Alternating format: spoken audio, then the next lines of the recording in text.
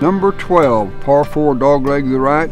Personally, it's one of the best holes on the golf course as far as I'm concerned. It's got a lot of challenges. It's the ranges is 288 to 360.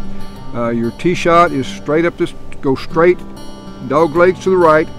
You can't, you sure can't go to the right because of the trees. Plus, there's a lake on the other side of this tree line. If you hit it to the right a little bit, it'll go go into the lake. But you place your tee shot down this way, right in the fairway. And then when you hit to the green, the green has got about a 15 foot drop that you have to carry your shot onto. You don't roll up on this green, you have to carry your shot all the way to the hole.